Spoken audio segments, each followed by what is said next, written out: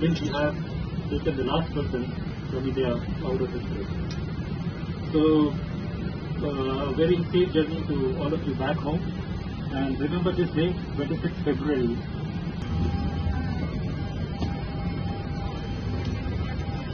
Good morning, my dear name is Rahul Srivastava and I am your ambassador in Romania. Uh, I know that you have come through a very long and arduous road journey.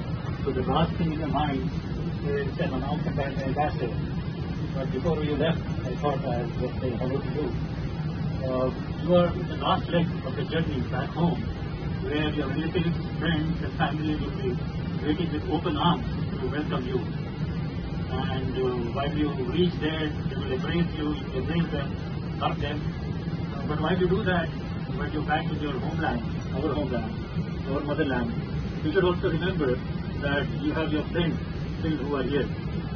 And when you talk to your friends who are still waiting to be evacuated, you should tell them and assure them that the entire government of India team is working day and night, including all the missions here, to evacuate everyone. And our mission is not complete since we have taken the last person from India out of this place. So, uh, very safe journey to all of you back home. And remember this day, 26th February. So whenever in life you feel difficult or feel that things have become difficult, things are not moving, and remember this day, 26th February, and everything will be fine. On everyone's behalf, I would also like to thank Air India and uh, the crew and the officials.